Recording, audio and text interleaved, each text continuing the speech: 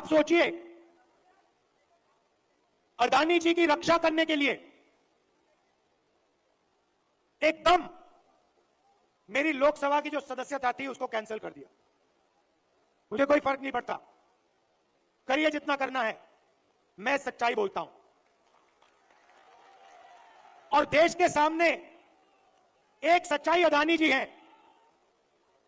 Port देख लीजिए, airport देख लीजिए इंफ्रास्ट्रक्चर देख लीजिए। धान के साइलों देख लीजिए। हर जगह आपको अदानी जी दिखाई देंगे। अदानी जी किसानों के जेब में से हर रोज जेब में से आपका पैसा लिया जाता है। इंफ्रास्ट्रक्चर में डीजल में पेट्रोल में फर्टिलाइज़र में आपके जेब में से पैसा निकलता है। और सीधा इन दो उद्योगपतियों के जेब में जाता है। मैंने मीडिया की बात की। मैंने मज़ाक में कहा कि मीडिया वाले हमारी मीटिंग तो दिखाएँगे नहीं। मोदी जी का चेहरा 24 घंटा दिखेगा। शिवराज जी का चेहरा 24 घंटा दिखेगा। क्यों? क्योंकि इनका रिमोट कंट्रोल अदानी जी के हाथ में है। देखिए, ये मुस्कुरा रहे हैं, प्रेस वाले मुस्कुरा रहे हैं। इनके बेचारी की गलती नहीं है।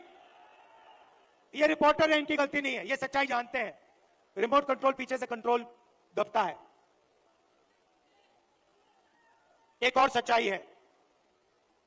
और वो सच्चाई शायद अदानी जी से भी बड़ी सच्चाई है। कुछ दिन पहले बीजेपी ने महिला आरक्षण की बात की। महिला आरक्षण में हमने एक सवाल उठाया। कांग्रेस पार्टी ने उठाया। बीजेपी ने कोई जवाब नहीं दिया। हमने दो चीज़ दो चीज़ें कही।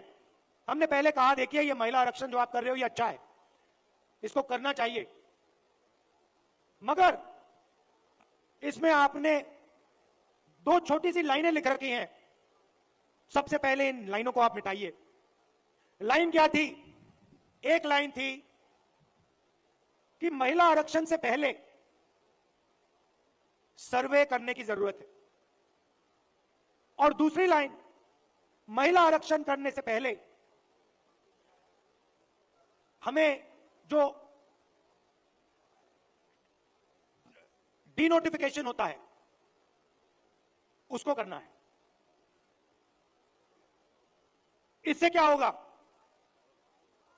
इससे महिला आरक्षण 10 साल बाद होगा, आज नहीं होगा। तो हमने कहा पहले, ये दो लाइनों को बदलिए। और उसके बाद हमने और भी गहरी चीज़ कही और सवाल पूछा कि महिला आरक्षण में ओबीसी आरक्षण क्यों नहीं है?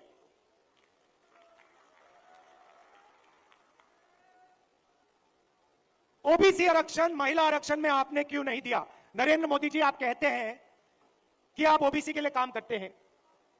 आप ओबीसी के नेता हैं तो आपने महिला आरक्षण के अंदर के बीच में ओबीसी आरक्षण क्यों नहीं किया?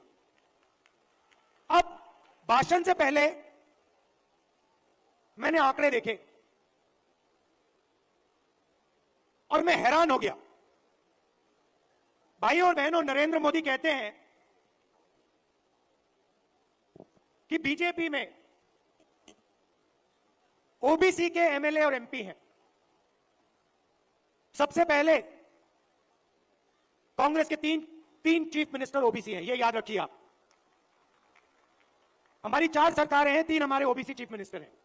दूसरी बात, आप पार्लियामेंट में विधानसभा में चले जाइए और बीजेपी के किसी भी एमएलए से पूछ लीजिए, एमपी से पूछ लीजिए, आपसे कुछ पूछा जाता है क्या? जब कानून बनाए जाते हैं आपसे कुछ पूछा जाता है आपको कहेंगे, भैया, हमारे से कुछ कोई नहीं पूछता।